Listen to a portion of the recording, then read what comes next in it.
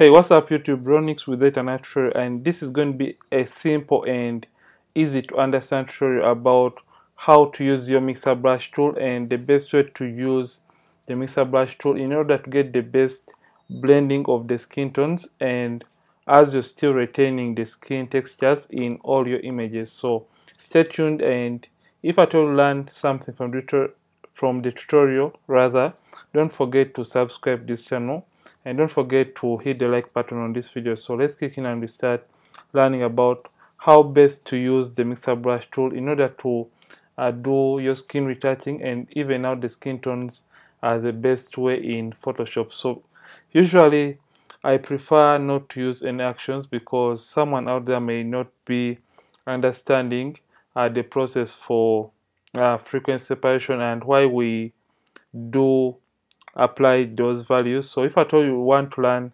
how to use the mixer brush tool while you are also using a photoshop action.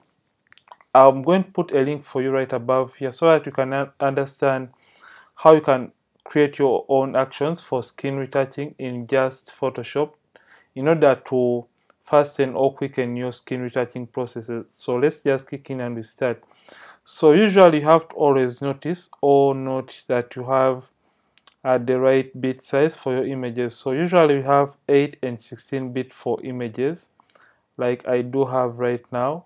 So usually for frequency separation we have two layers. That is uh, this we're just going to simply come hit ctrl J or command J to create these two layers.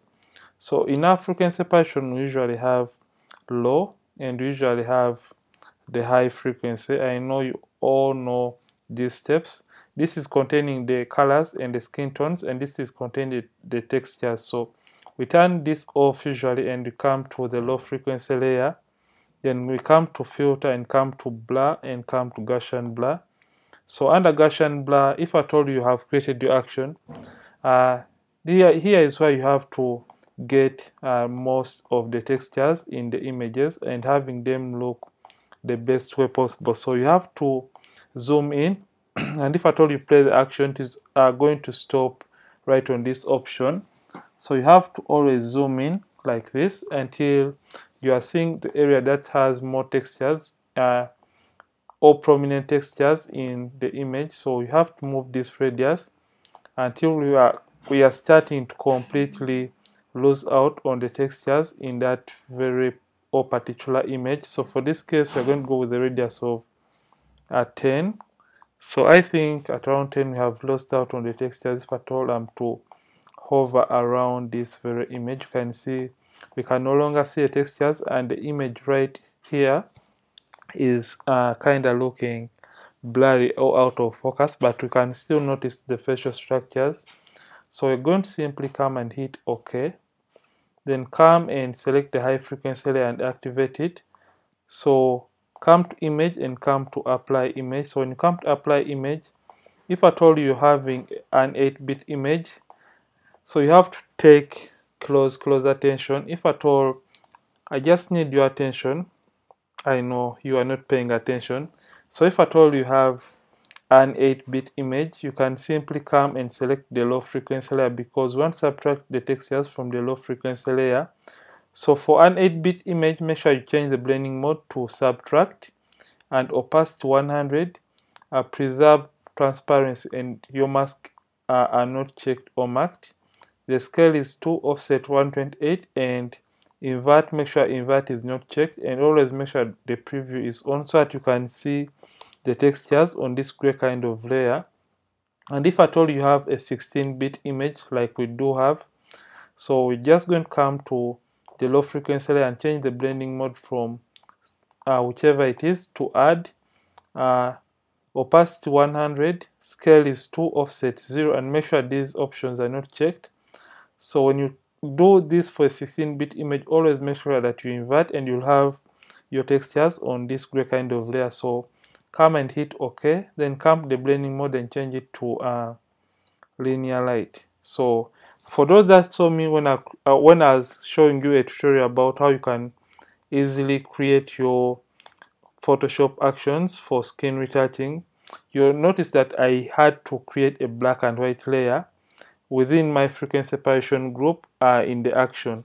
So the reason for doing that is because the black and white layer is going to show us where we're going to be blending using the mixer brush tool for this very image. So let's let's just put these two in a group by selecting both and you can either drag them to this group or for the icon and you're going to name that uh, I'm going to name that group FS for frequency separation. So we're going to come the high frequency layer and this is where we are going to create a black and white layer inside. So come to adjustments and create a black and white adjustment layer.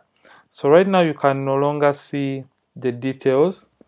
And uh, I forgot to tell you guys if at all your tool is showing this cross like icon always make sure that you turn off the caps lock key so right now you can't see the uneven skin tones in the image. However much I try to zoom in but when you come to the red channel and you darken it you're going to start seeing those uneven skin tones or bumpiness within the skin tones. So just darken it like that only darken the red channel and just close it. So right now come and select the low frequency layer. Remember skin tones are on this uh, gray kind of layer. So remember skin retouching is more about blending or evening out the skin tones of a particular image. So you just want to even out or blend those skin tones so that you can have a perfect blending skin tones and a really nice and beautiful image so we're going to come under the brushes and for those people who have been asking what I press when I'm using a mixer brush tool here is where you have to pay close close attention.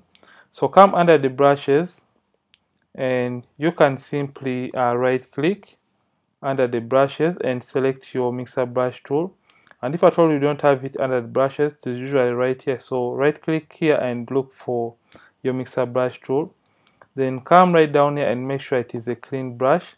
So we have two options. So select the second one. The reason for this is because the first option is going to load the brush after each and every stroke and the second one is going to do the opposite that is cleaning the brush after each and every stroke. So we have to highlight or select the second option.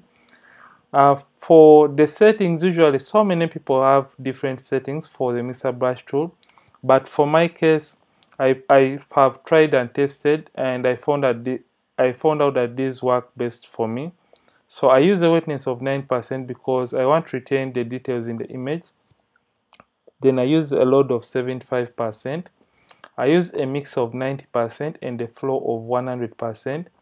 Then I make sure sample all layers is not checked or selected. So these are settings for my mixer brush tool.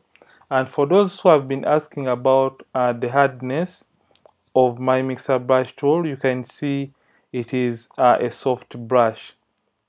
So if at all you are asking about my hardness for the mixer brush tool, it is a soft round mixer brush so when I'm on my low frequency layer I always when I'm retouching and if at all you don't have um, a graphics tablet or retouching tablet you can increase on the size of your mixer brush tool by using the brackets right after the P button on the keyboard to increase or decrease on the size of your mixer brush tool.